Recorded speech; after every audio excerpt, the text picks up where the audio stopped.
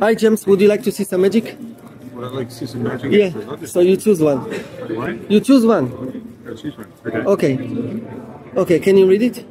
Thinking of AGI right now. Right here, right now. Here right now, I feel uh, very, very apprehensive, scared, uh, because I've I wrote a book about how scared I am, called Our Final invention. and I don't I don't think there are any remediation efforts for AI right now on the horizon that doesn't work. So I think we're, we're headed uh, towards AGI and then shortly after that superintelligence, and we don't know how to coexist on the planet of superintelligence. And I, I don't, uh, I really like this conference. I really like the openness and the open hearts. But